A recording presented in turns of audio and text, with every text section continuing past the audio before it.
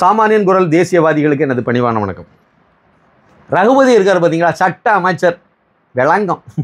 அவர் college வச்சுருக்கார். அந்த காலேஜில் வேலை பார்க்குற பல பேர் போலி பேராசிரியர்களாக இப்போ கண்டறியப்பட்டிருக்காங்க.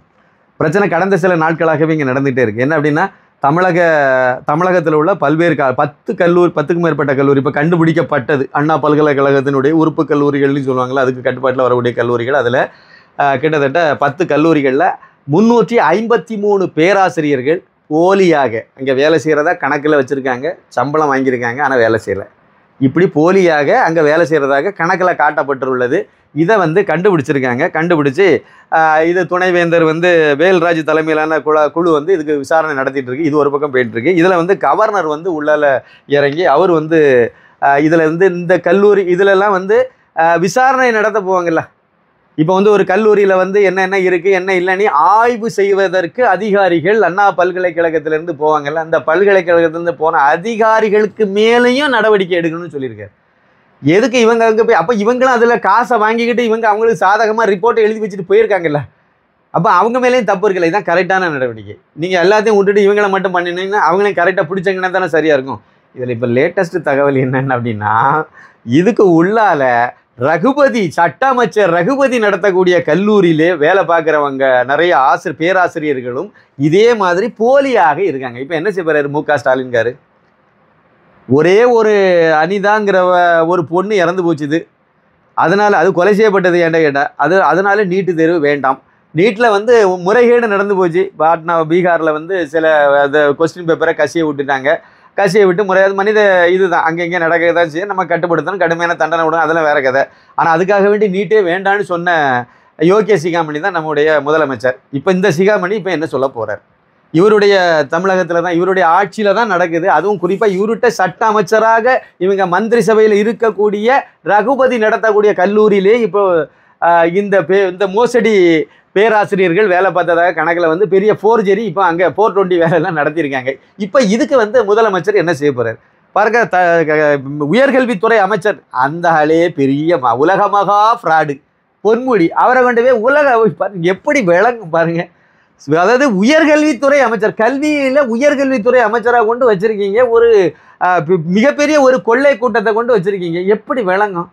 எத்தனை வழக்கு? எல்லாமே ஊழல் வழக்கு. கொள்ளையடித்த வழக்கு எல்லாமே கொள்ளையடித்த வழக்கு. வருமானத்துக்கு அதிகமாக சொத்து சேர்த்த வழக்கு ரெண்டு. செம்மண்கள்ல கொள்ளையடித்தது ஒரு வழக்கு. அப்புறம் மணல் குவாரியில் மணல் அள்ளின வழக்கு அடுத்த வழக்கு. அப்புறம் வந்து அரசாங்க நிலத்தை ஆட்டை போட்டது சைதாப்பேட்டை கேஸ் அது வேற. இப்படி ஏகப்பட்ட கொள்ளையடித்த ஒருத்தரை கொண்டு போய் நீங்கள் உயர்கல்வித்துறை அமைச்சர்னு வச்சிங்கன்னா அந்த மாணவ சமுதாயம் என்னத்துக்கு அந்த கல்வி எப்படி விளங்கும்? அந்த ஆள் ஏன் வாயை புத்திட்டு இருக்காருன்னா இதான் காரணம். இந்த விஷயத்தில் யாருமே வாயை திறக்கல தமிழகத்தில். எவ்வளவு பெரிய இது பாருங்கள் ஐநூற்றி முப் ஐ முந்நூற்றி ஐம்பத்தி மூணு பேராசிரியர்கள் போலியாக தமிழகத்தில் ஒன்று ரெண்டு இல்லைங்க முந்நூற்றி ஐம்பத்தி மூணு.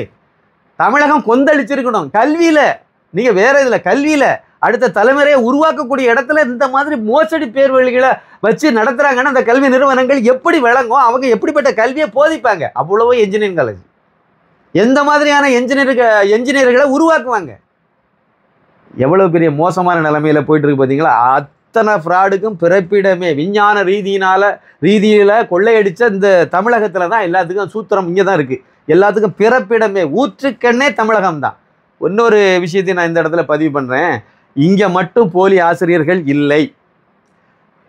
மிஷினரி கும்பல்கள் நடத்தக்கூடிய அரசு நிதி உதவி பெறும் பள்ளிகளில் கல்லூரிகளில் இப்போ முறையான விசாரணை நடத்திங்கன்னா இப்போ அங்கே நிறைய பேர் இதே மாதிரி தான் பேராசிரியராக இல்லைன்னா ஆசிரியர்களாக வேலை பார்க்காமல் பாதிரிகளாக இருந்து கொண்டு கன்னியாஸ்திரிகளாக இருந்து கொண்டு வேலை பார்க்குறதாக சம்பளம் வாங்குறாங்க.